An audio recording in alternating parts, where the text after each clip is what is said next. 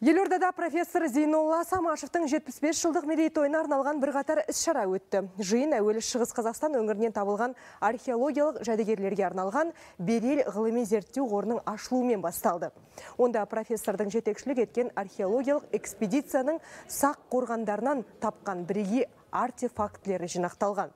Келген меймандарға қорға енген 2 мыңнан астам археологиялық жәдігерлер арасында алтын бұйымдар мен әшекейлер, ат әбзелдері мен қару жарақ түрлері таныстырылды. Сондай аталған іс-шара көрмемен жалғасып, тарихшы археологтардың қатысуымен өткен дөңгелек үстелмен түйінделді.